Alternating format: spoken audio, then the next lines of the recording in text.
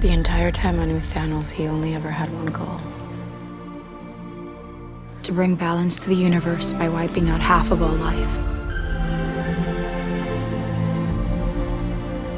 He used to kill people planet by planet, massacre by massacre. Tell me his name again. Thanos. What's our timeline? No telling. He invades planets, he takes what he wants, he wipes out half the population. Thanos has the biggest army in the universe. And he is not going to stop.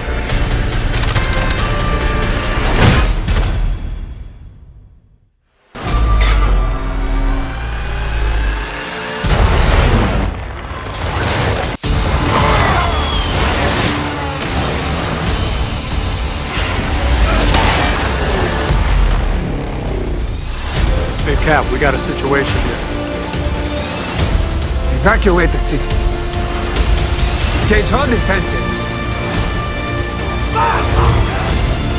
Get this man shielded. Thanos has been inside my head for six years, since he sent an army to New York, and now he's back. So I say we take the fight to him.